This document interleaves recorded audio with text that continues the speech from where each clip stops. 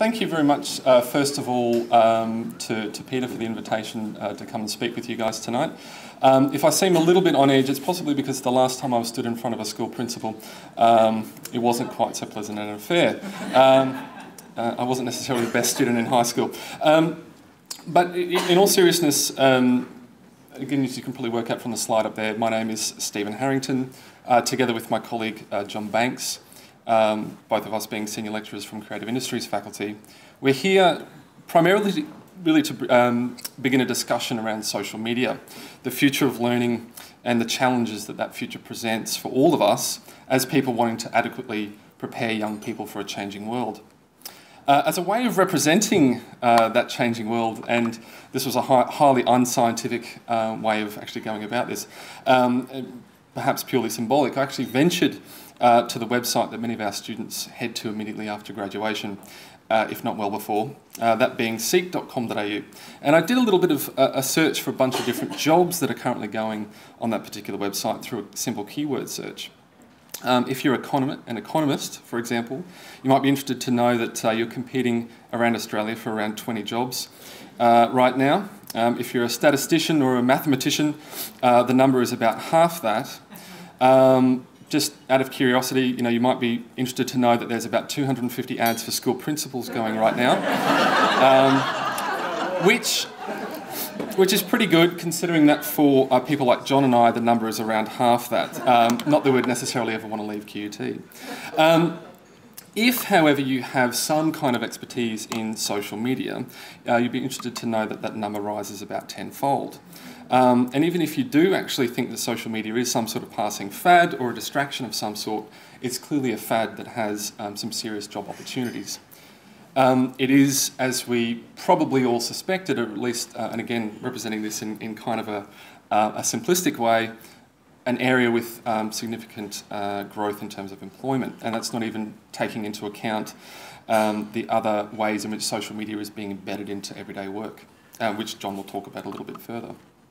Um, so in case you didn't trust your own eyes or your own observations of students in their nat natural habitat, um, all of this I think kind of speaks to the ubiquity, and, and again John will talk a bit more about that, rather than um, the periphery or uh, social media being out there on, on the margins of society, but actually really kind of fundamental to the things that we're doing and the way in which society is increasingly operating. Um, there are, and you know, on the basis of the, uh, the slides that I showed just before, uh, a number of people out there in the real world who are looking for people who understand how social media works, uh, but also how they can make the most of the opportunities that arise from that with, in, well, in terms of engaging with new audiences and consumers and so on. The sort of new connectivity possibilities that are really opened up by um, these new platforms. But that exciting, you know, rather exciting picture doesn't necessarily fit with how we tend to talk about social media as a culture. Um, we hear so much emphasis through um, you know, the way in which these are presented in the media primarily that social media is a problem, a source of danger in particular for young people. Uh, and I'm so sure that we've heard those sort of arguments before, I'm not even going to bother pre presenting evidence for them. Um, things you know that we've again I'm sure we've heard before that social media uh, makes people antisocial, um, that there are privacy concerns around you know data and all the rest. Um, that you know people taking selfies is in, in, um, an indication of increasing narcissism. Uh, one of my favourites recently was that you know putting heads together and taking a photo could increase head lice transference. Um, um, and of course, you know some some of the you know kind of associated issues around potentially damaging people's job prospects into the future. Um, there's a new show starting soon called Catfished, which you might be interested to find out about. Um, there's all the uh, physical effects uh, and damages potentially to young people's brains that we hear about. Um, that we're going to, you know, people don't have, um, you know, the concentration um, that they once had or the attention spans that they once had, um, or people with ADD perhaps.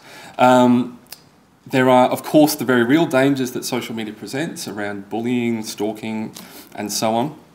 And all this, of course, taps into much broader moral panics around technology and society. So, Um, literally in the last few days, you know, we've had all this concern around a meme called Slenderman. Uh, before that, only a couple of months ago, we had a concern around something called neknomination. Um, there's all sorts of fun stuff you can find out about later. Um, and a couple of years ago, for example, we were all worried about planking, and the list goes on and on and on. Um, this is again, a, a, really prominent way in which social media is actually presented within our culture and, and, and really part of the, the, the, conversation that we have around these technologies. Um, it's therefore really no surprise at all that within large organisations, social media is very often presented primarily as a problem that is best dealt with through a prohibition approach. Um, that okay, we've got staff spending too much time on Facebook. What's the thing that we need to do about it? Well, we just have to block it um, with our, within our intranet. Um, when I speak with organisations, as I've done quite a lot in recent years, the concern that they have, um, and when they approach me, is often to say, tell us, give us the, the, sort of magical solution about how we can control this problem. Um, that, in a sense, they're, they're looking for an antidote, as the title of this presentation was indicating. Um, they don't tend to think very much about how we can actually harness some of these really exciting opportunities for you know, particular organisations. Um, so within schools, of course, this is a big, big issue, and the overriding approach among parents, educators, and administrators uh, tends to be towards harm minimisation. Policies that are developed around that, therefore, um, tend to be fairly blunt instruments, which don't necessarily acknowledge, again, the opportunities for engaging with students uh, in an increasingly dynamic way. And of course, you know, given the duty of care that overrides primary and secondary education, this is entirely understandable. Um, as parents of young kids ourselves, I know um, you know neither John or I would ever be you know so um, or dismissive of those kind of concerns, and you know that there are genuine risks around social media use that we need to be concerned about, although some are a little bit more valid than others. Um, the point is, though, and, and really one of the big things that we would like you in a way to take away from this, this uh, presentation is that very often that kind of concern blocks an informed understanding of the phenomenon. Um, in short, while we need to stay vigilant and be aware of what those risks are, we also don't necessarily need to panic. Um, so hence the, the chill pill part of this presentation in terms of the title. Um, it, I think one of the, the ways of, of, of starting to rethink this is that we need to try and start viewing some of the concerns around media change through a much broader lens or a wider lens, um, and thinking in the way in which people have you know displayed concern in the past around things like video games. Before that, um, things like television. Uh, was a great book a number of years ago about you know the plug-in drug. We all need to be worried about television. Um, turns out it wasn't that big a deal. Um, before that, it was comic books. So back in the 1950s, we had people. Um, this gentleman in particular, who wrote this book, The Seduction of the Innocent, uh, stood before a Senate subcommittee um, in the United States claiming that comic books were primarily to blame for you know, youth delinquency um, and you know, gang violence in America. Um, you know, before that, we had all sorts of concerns about what the telephone might do, people being able to talk to each other over long distances, and even further back, we had uh, people getting concerned about young women reading novels in their bedrooms. Um, it's helpful, I think, first of all, or not first of all, but second of all, to get out of our heads any kind of notion that we can somehow stop or control completely social media activity. So hence the, the reason why I have this image here of a whole bunch of people, um, you know, we can try to sort of shape that activity and direct it in, in the way it's supposed to go, I guess you would say, but we can't necessarily control what happens at the individual level um, the best thing that we can do is understand what the risks are, as I talked about before, and then deal with those in some sort of effective way. Um, and I often like drawing the parallel here between um, the way in which we think about social media and risk and how we think about risk when it comes to cars. Um, cars are very dangerous things, and I think we can all sort of agree on that, and especially for young people, you know, very tragically, a number of people die every year in motor cars. Um, but we accept that we'll never have perfect safety, um, and or have some sort of expectation that people might stop driving. But the point is that people go along to these sort of activities like you see here to try and find out about how to use that technology in a more safe and effective way. Um, I think as well what we need to do is try and avoid some of the idle speculation or in some cases the outright fear-mongering um, and look to actual research regarding how and why people use social media technologies. So a really good book um, in this respect, and actually one that I would thoroughly recommend to everyone in this room um, in part because it's actually free to download online, and that's legally, um, is this book. This book here, um, by a US researcher by the name of danah boyd, called "It's Complicated." Now, the title of this book is, is works on a number of different levels. It was a, a kind of play on the way in which people would define their um, friend statuses on Facebook once upon a time, or at least it was one of the options. But it's also about saying that the issues that are involved with young people and, and um, you know, social networking um, is a complicated picture. And whereas so often what we actually get um, in that cultural discussion around these technologies is a simple kind of black and white, this is a problem, we need to sort of stop this and so on. Um, one of the, the more powerful arguments um, is, in a, is in one chapter in particular where she talks about this idea that young people are addicted to Facebook and other platforms. And first of all, she, she notes that we are overwhelmingly positioning teens as somehow incapable of, first of all, being aware of the risks that are associated with what they're doing, but also that they don't have a capacity to maintain a healthy relationship with social media. Um, and she goes on to sort of talk about this idea of you know addiction and how readily we sort of reach for this term when it comes to um, the use of, of certain things. So um, a good illustration of that is the fact that we would use addiction very easily in this sort of medicalised discourse around addiction, um, which has you know very certain parameters for, for psychologists, for example. We use that term so easily when it comes to something like Facebook, but we don't ever use that term when it comes to people who really like books or the works of Shakespeare, for example. Um, the more powerful kind of part of, of her argument, though, is again, there's sort of an irony here that she points out that there is this increased perception of risk in the 21st century society, which doesn't necessarily, first of all, stack, stack up against statistics around crime and, and, and so on. Um, Parents today are therefore actually much more protective of their children and tend to control their social interactions much more heavily as a result, again, for the fear that they might sort of encounter someone who's unsavoury. Um, and you couple that with some of the curfew laws and the other um, laws um, and policies around uh, congregating in public spaces for young people, particularly in America, that is. Um, and it's therefore no wonder that young people are looking for some sort of alternative. Um, in speaking with young people across America, she actually found, and this is contrary to popular belief, that young people would much rather spend time with their friends face to face rather than um, you know, mediated you know, via these, these technologies which are highly impersonal. But the fact is that a lot of young people simply aren't given the opportunities to be social that their parents had. Um, she then goes on to claim that we shouldn't therefore judge uh, young people who clamour for sociality in ways that might look foreign to adults. Um, and it's a really nice segue to John's part of the presentation.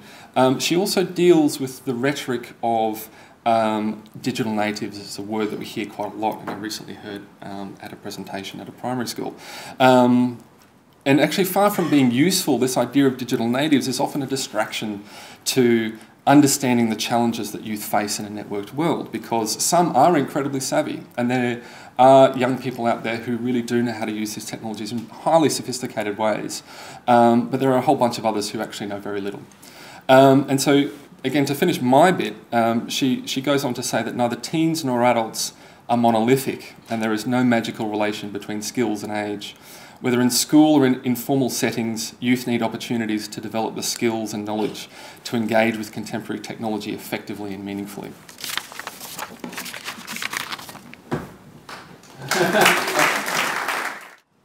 what I'd like to do is share some thoughts and perhaps provoke some discussion around arguments, debates, discussions around the ubiquity of social media and the challenges and opportunities that ubiquity is presenting for our students, for our workforces, for our educational institutions. And what I want to suggest is that what we're dealing with here is some quite profound challenges about, around quite fundamental institutional change. And that these challenges are perhaps more significant for us to grapple with than some of the instrumental questions that we might be raising around social media. And I'll, and I'll get to that. Before I get to that, though, I'd like to share an anecdote before I get to the an- antidote. For, uh, with an experience I had with social media recently in my household. I have two daughters, twin girls, nine. And I went home last night, caught the train home. We get home and walk in the door. My wife's very, wife Liz is very excited. Ivy, we're getting the right one, Ivy Charlotte. Ivy is researching. What's Ivy researching? Rome, the Colosseum. Where's she researching? Go and check her out. Walk into her bedroom, she's sitting there with her iPod. She's figuring out how to access Safari. She's Googled and she's letting me know all about the Colosseum, how it was built and when it was built and what it was made of, etc. How'd you find that out? Google it there. Right. But what really interested me is what she wanted to do immediately was share this knowledge that she'd gained about Rome with friends. Right? She'd figured out how to use FaceTime on the device. I hadn't showed her how to use FaceTime. Mum hadn't showed her how to use FaceTime. Dad's freaking out a bit at this point around, around what the implications are of my nine-year-old using FaceTime. She'd been FaceTiming and turned out with his sister who was in the room, just across from her, talking about, about the Colosseum, etc. So I, I, was less concerned. But what's interesting is my response. On the one hand, as a dad, I was proud of my daughter, the, the young budding researcher, using social media in an interesting, fascinating way to learn. At the same time, there was this profound anxiety I had around the implications of that in terms of wanting to protect her. And I think that these two tensions are pulling us quite generally in our, in our teaching practice as, as educators. On the one hand, we have a sense of the profound affordances for collaboration, for information sharing, for access that these tools and platforms provide. At the same time, we are dealing with anxieties around issues of privacy the ethical issues about appropriate uses, the types of things that Stephen's pointed to around bullying, etc. And these are real concerns. And I think that that tension is kind of at the heart of, of my presentation and also at the heart of the institutional challenges we are dealing with. So I want to just refer you to quickly to the NMC Horizon report, a New Media Consortium report, a yearly report that they put out around higher education. They, they, they've identified significant trends. One of the big trends they've, they've identified over the past few years, and again in this report, is the ubiquity of social media. They talk about it as one of the significant challenges confronting higher education. Why? I think there are a couple of reasons, and, and Stephen's already alluded to some of them. Social media is becoming firmly established as an industry sector in its own right, and there are jobs there and those jobs require skills. The other reason, and it's an argument that one of my colleagues, Jean Burgess, who was a social media researcher, a prominent social media researcher, makes, and I've co authored with her on this, is an argument that social media is, is quickly becoming what we term an embedded communications infrastructure. It's becoming a significant part of our communications infrastructure and systems. It's not ancillary, it's not something to the side anymore. It's becoming part of the mundane, everyday ways in which people communicate with each other. Yes, the rates of uptake are diverse. The skills around that, the equity and access issues are still quite significant, but we think this is the trend and that research bears this out. So we have an, a quite mundane and embedded part of communications, and yet it's quite new and disruptive, and it has profound implications for education. One of the experiences I've had with students with lecturing, and it can be quite disturbing over the past few years, and it's, it's increased. You be standing in front of students to lecture, and the heads be down on devices, and you, there's an anxiety there for me. Are they listening to me? Uh, is there back channel tweets or chatter going on about how boring I am? Um, what are they paying attention to? What are they doing? And that can be a quite unsettling experience one of the ways I've tried to deal with this is I started these sessions with some of my students of show me your devices, which is pull out your devices, dump them on the table and have a discussion about how you're using them. And that became fascinating with the ways that they were collaborating, working together, while I was talking, asking, asking each other questions, sharing ideas on how they can, can do assessment together. It was fascinating, the way they were sharing this information. And so if you can engage students with social media, and we've started to do that, I know some people like Stephen, for example, doing really innovative stuff, and, you, and incorporating social media into their teaching and learning, you can start to get the kids coming up, as this picture demonstrated, and the students engaging with you using social media. So there are ways of doing it, and I don't want to talk, talk to you too much about that because I know that there are many amazing things going on in high schools out there, and high school teachers doing amazing things that we can learn from around this as well. This, this is just not happening in, in, in universities. I want to share with you a diagram, a chart that, that um, has really captured my attention over the past year. I've been working with some colleagues here at QUT with transforming our approach to learning, looking at ways to adopt more blended approaches, more online approaches, integrating social media into our learning. We want it to be student centred. We want the student's experience and the student's learning outcomes to remain central to that. So, what we did was we ran some focus groups with undergrads. And we said, undergrads, tell us how you learn. Tell us what your learning ecology looks like. And this was something that a group of, of young, about three or four young students came up with for us. And this fascinated the team unprompted. This is their diagram of their learning ecology. Right at the centre of it is the internet, online lectures, online resources, not lectures. Peers, significant. Um, offline resources, other universities' resources. They go to other universities to see what they can offer them, MIT, etc. Still lecture, lectures there, but it's a mix.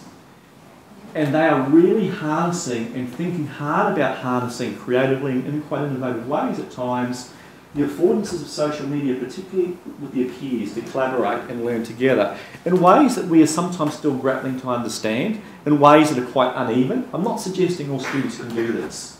This is one of the concerns equity issues, the issues around the quite diverse and mixed digital literacies you may be confronting as an educator, and I'm sure that's going on in, in high schools as well, that you can't make assumptions that all your students have these skills. You can't make assumptions that all your students know how to learn effectively with social media just because they have a really cool Facebook account. So, in all of this, you have these challenges around the centrality of peer to peer collaboration. And I think there's some quite basic stuff going on here about education that's not particularly new. Sure, it's about the affordances of social media technologies and platforms, but it's also about quite basic social constructivist understandings of pedagogy that inform all good education. We know that students learn best together. We know that they like to learn socially, but the environments and ecologies in which that happens and the, the potential for that and the potential to scale that is changing quite radically.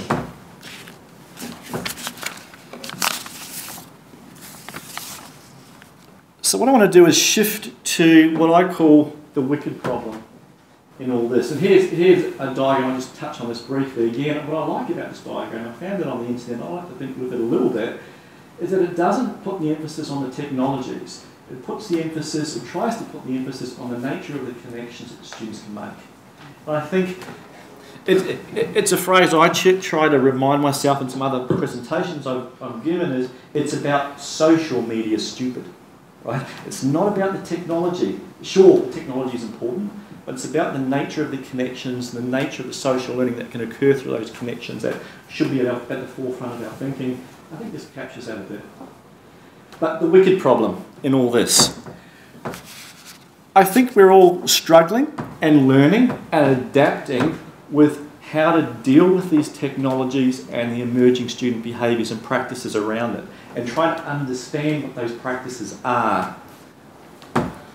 I think we need more adaptive organisations and institutions in order to grapple with these challenges and to prepare our students and our educators with the skills and capabilities to take on these challenges creatively, inventively, and confidently.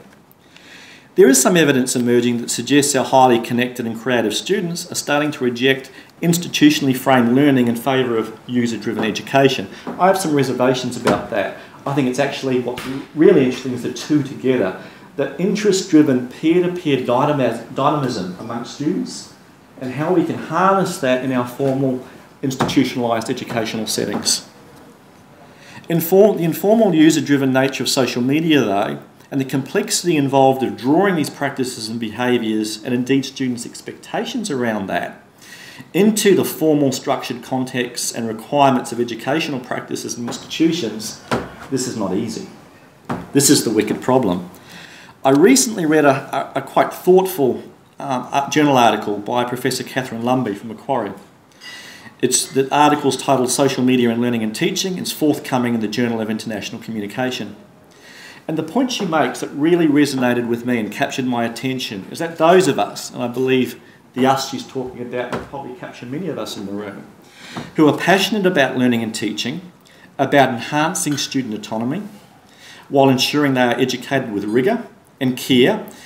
We need to grapple with the profound change, and what she argues is the, the change at institutional levels required to figure out how to incorporate social media effectively into our teaching and learning practices, and that this actually challenges traditional hierarchical understandings of knowledge dissemination and acquisition. She argues that social media, in some ways, is incompatible with some of the traditional information dissemination, acquisition oriented learning approaches that many of us are still comfortable with. So, the problem she suggests is that we shouldn't focus just on the instrumental role of social media. So, how we can use Twitter effectively in our teaching or Facebook. Sure, these are important questions, but she suggests that, that the really challenging questions is the institutional paradigm shifts that may be required in order to assist and prepare our students for this rapidly changing communication landscape. So, in conclusion, in grappling with these challenges, I don't want to underestimate the, the issues around cyberbullying and privacy, etc. These are huge issues. These are huge and challenging social issues. But we should not be corralled in our responses or limited in our responses or indeed in the creativity and vision we can bring to dealing with these problems. So I'm not dismissing the difficulty of doing that.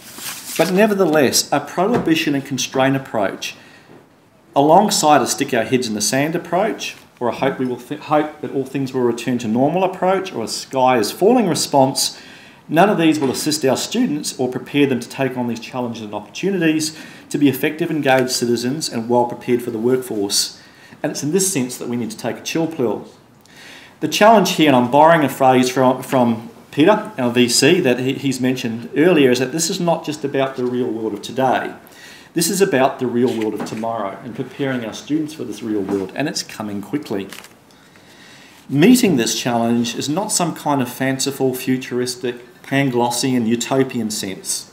Everything isn't rosy in the social media world.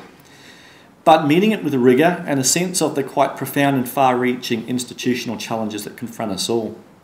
The chill pill is to reflect carefully and in a way that's grounded by evidence, the sort of evidence that, that Stephen was talking about. And this isn't easy, there's no magic wand here. It's fraught with difficulties of formulating policies and teaching and learning approaches around emerging volatile sets of technologies and practices within the context of our existing, historically and institutionally entrenched pedagogies, legal and ethical policies. But the reality is it's here, it's increasingly ubiquitous, and we really need to take on these challenges. If the ways in which students access, share, and build knowledge are changing, then we also need perhaps a more far reaching and robust consideration of how educational institutions, and indeed how we as educators, relate to these challenges. The privacy, security, legal, and ethical questions are real. These are the complex challenges you all know well. You're at the coalface of dealing with these with your students in the high schools. We're also dealing with them in our households as parents. But the affordances of these technologies also transform and blur the boundaries between these places, the boundaries between classrooms, lectures, home. Students want to be able to learn when they can learn on their terms, but still be supported and scaffolded so they can be effective and engaged learners. A prohibition and constraint approach won't help us get all that far, I don't believe. This isn't the antidote. We need to prepare our teachers and our learners and our, well, our students to be informed, skillful, ethical, critical communicators with and through social media. I don't think there's a contradiction there necessarily. We're in this together as educators, and I think we can learn a lot from each other. And I'm sure that there's a lot of creative, experimental, adaptive educators out there in our high schools and in our universities. And I think one of the challenges here is to be brave and courageous in supporting them as they experiment and also as they fail at trying to engage students through social media. I hope that's a useful point to stop and start some further discussion. Thanks.